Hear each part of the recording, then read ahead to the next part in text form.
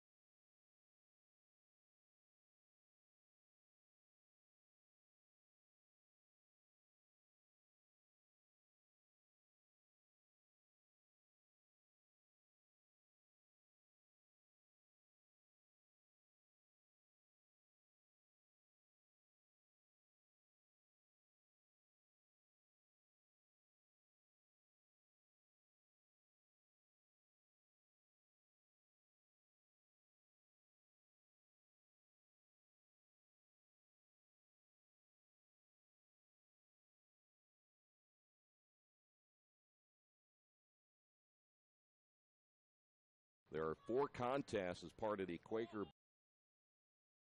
Bowl rivalry. Just outside the box, and may have our first opportunity here for Wilmington with a left foot, and there's your first goal.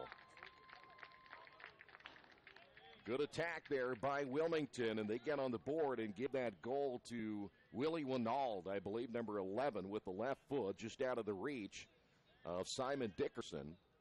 So the first change now for Wilmington this afternoon.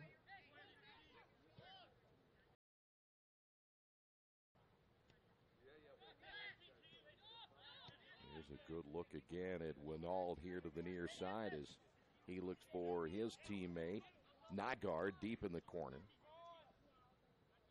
Here is Spurk. Spurk with the left foot, and a good ball as that one sails over the right side. I think that's going to be Jason Altmaier, number 13. So Altmaier is in. Wilmington. Here come the fighting Quakers back the other way. Clemmer there defensively. Good move to the inside and stop. Nice job there by Earlham Simon Dickerson. Wilmington again to the far side.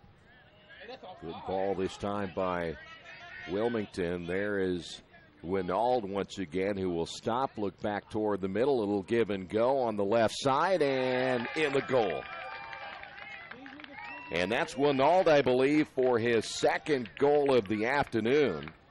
As Wilmington coming right back, scoring two straight. And they're going to give the assist to Dan Kaplan. So Kaplan the assist, and Willie Winald, that's the second time he scored from the left side.